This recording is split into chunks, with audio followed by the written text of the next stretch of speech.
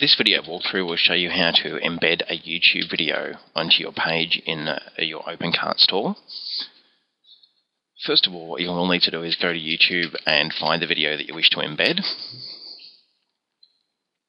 Underneath the video on YouTube, you'll see a series of buttons. One of those is the share button. If you click the share button, you'll see it gives you a link to the video, along with a button just below that that says embed.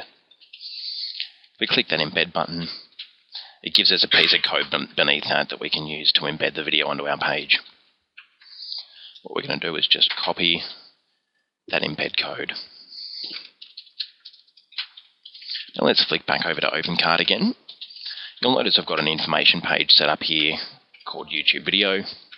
We're going to click to edit that, and that's where we're going to add the video in. Now in order to embed the video, all it's a matter of doing is just pasting the code.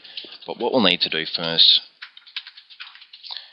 is click the source button. You can't just pop it straight onto the page, you need to actually go into the back end of the page. So by clicking the source button, you can see there's a little bit of code included in there at the moment. And we're just going to paste our embed code in here. If we now flick that source button off again, you can see here it's inserted a frame. That's going to be our YouTube video. If you click the save button now to update, that change is now done. You'll see the message success, you've modified information. Indicates that that change has gone through.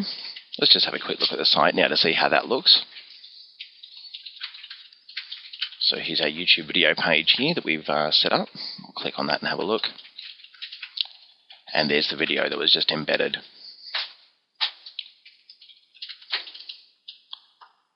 And there you go, that's how you insert a uh, insert an embedded video on your OpenCart store.